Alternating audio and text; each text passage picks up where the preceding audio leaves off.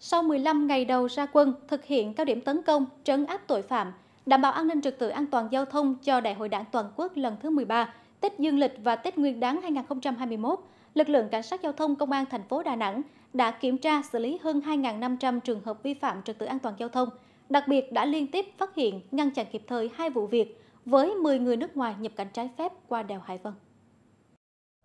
Đây là những chốt xử lý vi phạm trật tự an toàn giao thông tại giao lộ cách mạng tháng 8. Gần như ngày nào cũng có các trường hợp vi phạm trật tự an toàn giao thông, đặc biệt là nồng độ cồn. Những người vi phạm đều có rất nhiều lý do để giải thích. Tuy nhiên, nhiều nhất vẫn là bị ép uống do thời điểm cuối năm có nhiều tiệc tùng, liên hoan, tổng kết. Qua quá trình ờ, tuần tra kiểm soát kết hợp xử lý vi phạm thì ờ, lực lượng ờ, chức năng chúng tôi thì phát hiện những cái trường hợp mà vi phạm nồng độ cồn thì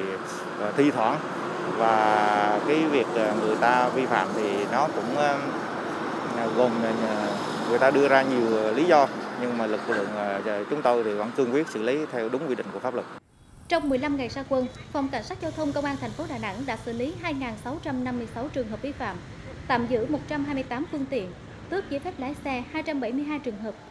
Từ đây cho tới cuối năm, dự báo lưu lượng tham gia giao thông đông đúc, vì vậy lực lượng cảnh sát giao thông sẽ phối hợp với các đội trạm tăng cường tuần tra, kiểm soát để xử lý kịp thời những vấn đề phức tạp. Phòng cảnh sát giao thông cũng đã có kế hoạch ra quân với 100% quân số của đơn vị để phối hợp cùng với công an đơn vị địa phương như cảnh sát cơ động, cảnh sát 113, cảnh sát giao thông trật tự và công an à, phường à, tăng cường công tác tuần tra kiểm soát nhằm đảm bảo trật tự an toàn giao thông và trật tự công cộng à, nhằm để không xảy ra tai nạn và ủng tắc giao thông tại các tuyến chốt trọng điểm quan trọng. À, ngoài ra thì à, chúng tôi còn ra quân à, xử lý các trường hợp thanh thiếu niên tụ tập có biểu hiện đua xe trái phép.